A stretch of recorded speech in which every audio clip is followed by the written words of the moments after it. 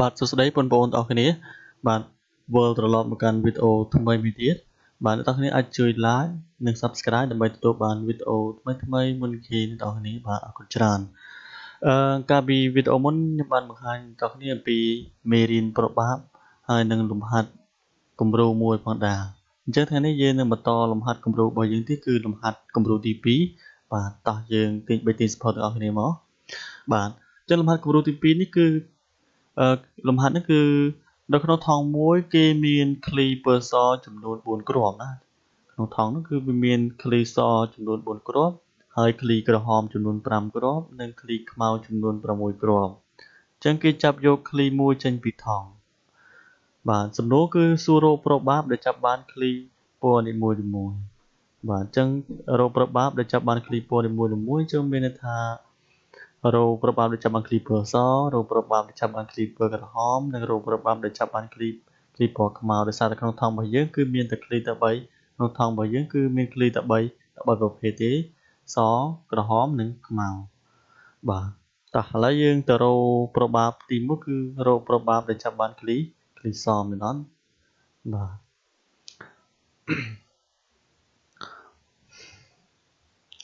បាទអញ្ចឹង យើងរកប្របាប់ដែលចាប់បានឃ្លីនីមួយៗអញ្ចឹងមិនថាយើងរកប្របាប់ដែលចាប់បានឃ្លីស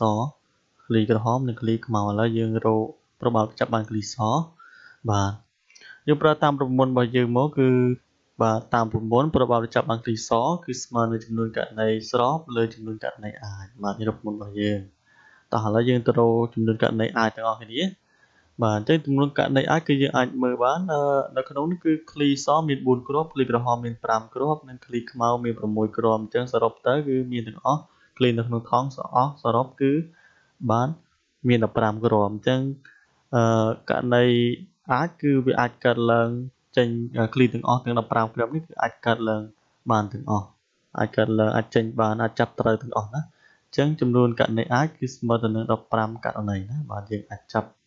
ត្រូវឃ្លីទាំង15ហ្នឹងមិនដឹងថាចេញក្រហមឬខ្មៅមុនទេបាទហើយមួយទៀតគឺចំនួនករណីស្របបាទអញ្ចឹងចំនួនករណីស្របគឺស្របតាមដំណងប្រាថ្នារបស់យើងគឺយើងឲ្យចង់ឲ្យចេញឃ្លីសបាទអញ្ចឹងដោយដោយឃ្លីសមានចំនួន5គ្រាប់ហ្នឹងនោះបើថាចំនួនករណីស្របគឺស្មើនឹង4អឺសំដៅដល់នេះ5គ្រាប់4គ្រាប់ណាបាទសំដៅដោយឃ្លីសរបស់យើងមានចំនួន5 4គ្រាប់ នោះចំនួនករណីស្របស្មើនឹង4 4ករណីណាបាទអញ្ចឹងអឺដោយឃ្លីសមាន5គ្រាប់នោះចំនួនករណីស្របស្មើទៅនឹងបាទដោយឃ្លីសមាន4គ្រាប់នោះចំនួនករណីស្របស្មើនឹង4ករណីមែនអត់បាទ ចឹងយើងយកវាទៅជួននៅក្នុងរូបមន្តរបស់យើងមកយើងអាចរកឃើញប្របាបដែលចាប់បាន clipper សហើយបាទអញ្ចឹងដើម្បីប្របាបចាប់បាន clipper សគឺស្មើទៅនឹងចំនួនករណីស្របលើករណីអាចករណីស្របរបស់យើងគឺស្មើនឹង4ហើយចែកទៅនឹងចំនួនករណីអាចគឺ15ដោយសារតែ clip របស់យើងមាន15ក្រុមអញ្ចឹង15ករណីអញ្ចឹងយើងចែកមកគឺ4ចែក15គឺស្មើទៅនឹង 0.26ក៏ប៉ុន្តែយើងអាចគិតជាភាគរយទីគឺស្មើនឹងដោយគុណនឹង100%យើងនឹងឃើញថាវាស្មើនឹង6 26%ណាបាទអញ្ចឹងយើងរកឃើញប្របាមដែលចាប់បានឃ្លីសហើយយើងទៅរកប្របាមដែលចាប់បានឃ្លីក្រហមម្ដងបាទអញ្ចឹងដូចតែគ្នាដែរទេយើងប្រើរូបមន្តដូចតែគ្នាទេគឺលំមុនប្របាមដែលចាប់បានឃ្លីសយើងជួលដោយសនេះ ប្របាប់ដែលចាប់បានគ្លីក្រហមយើងចំនួនដល់ពាក្យថាក្រហមនឹងមកអញ្ចឹងស្មើនឹងចំនួនករណីស្របលើចំនួនករណីអាចបាទអញ្ចឹងយើងអាចកាត់បានត្រង់នេះគឺយើងអាចដោយសារតែយើងរៀបរាប់ពីខាងលើហើយអញ្ចឹងយើងអាចឆ្លើយករណីចំនួនករណីអាចចំនួនករណីអារបស់យើងគឺស្មើនឹង15ករណីដដែលបាទឬក៏អ្នកនរគ្នាអាចចង់រៀបរាប់ដូចខាងលើនេះក៏បានដែរណាកុំឲ្យខាត់ពេលយើងនៅពេលប្រឡងគឺយើងអាចធ្វើកាត់ដូចនេះបានណាអ្នកនាងបាទ ហើយមួយទៀតគឺចំនួនករណីស្របករណីស្របរបស់យើងគឺហើយយើងរកប្របាប់ដែលចាប់បានគ្លីក្រហមអញ្ចឹងគ្លីក្រហមរបស់យើង គឺមានទាំងអស់គឺគឺ5គ្រាប់ណាអញ្ចឹងយើងអាចរកឃើញចំនួនករណីស្របគឺស្មើនឹង5ករណីដែរណាបាទបាទអញ្ចឹងងាយៗទេអ្នកនរគ្នាអាចជួសវាចូលនៅក្នុងរូបមន្តយើងមកបាទអញ្ចឹងយើងបាន probability ចាប់បានឃ្លីក្រហមគឺស្មើទៅនឹងចំនួនករណីស្របគឺ5ហើយចំនួនករណីអាចគឺ15អញ្ចឹង 5ចែកនឹង15គឺស្មើនឹង0.33បាទហើយគុណនឹង100%មកអឺសំដៅគុណនឹង100%មកគឺបាទស្មើនឹង33%ណាបាទអញ្ចឹងងាយងាយទេណាតោះឥឡូវយើងទៅទៅរកឃ្លីមួយទៀតដែលយើងទៅបានមកគឺឃ្លីពើពើខ្មៅម្ដងណាបាទអញ្ចឹងយើងប្រើរូបមន្តដូចតែគ្នាដែរទេគឺបាទ តាមរូបមន្តប្របាមដែលចាប់មកគ្រីខ្មៅស្មើនឹងចំនួនករណីស្របលើចំនួនករណីអាចអញ្ចឹងករណីអាចគឺយើងអាចឆ្លើយវាមក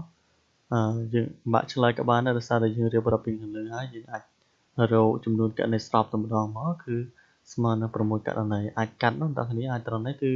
បើអ្នកនរគ្នាចង់ធ្វើពេញទៅចំនួនកអញ្ចឹងក៏បានដែរណាប៉ុន្តែចំពេលប្រឡងយើងអាចធ្វើកាត់បែបនេះបានដោយសារតែយើងរៀបរាប់ពីខាងលើហើយអញ្ចឹង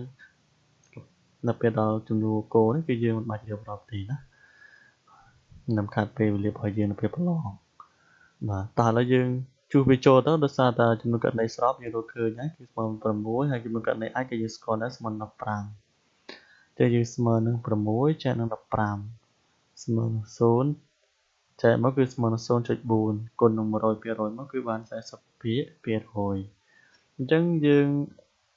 រកឃើញប្របបាបដែលចាប់បានឃ្លីនីមួយៗអស់ហើយបាទអញ្ចឹងគឺដូចនេះគឺប្របបាបដែលចាប់បានឃ្លីសគឺស្មើនឹង26%ហើយប្របបាបដែលចាប់បានឃ្លីក្រហមស្មើនឹង33%និងប្របបាបដែលចាប់បានឃ្លីខ្មៅស្មើនឹង40%ដោយសារសំណួររបស់យើងគឺសំណួរសរុបអញ្ចឹងយើងឆ្លើយដូចនេះសរុបមកណាបាទចឹងសង្ឃឹមថាអ្នកទាំងអស់គ្នានឹងទាន់ហើយនឹងយល់នៅលំហាត់នេះអ្នកទាំងអស់គ្នាអាចមើល អឺវីដេអូនេះម្ដងបន្តិចម្ដងបន្តិចទៅមួយមួយទៅអ្នកគ្នានឹងអាចនឹងជឿជាក់ថាអ្នកគ្នានឹងអាចតាមតណាណាបាទអរគុណសម្រាប់ការទស្សនាវីដេអូនេះតាំងពីដើមរហូតដល់ចប់ហើយក៏សូមជួយ like និង share subscribe នៅ channel របស់ខ្ញុំផងណាបាទអរគុណសូមជម្រាបលា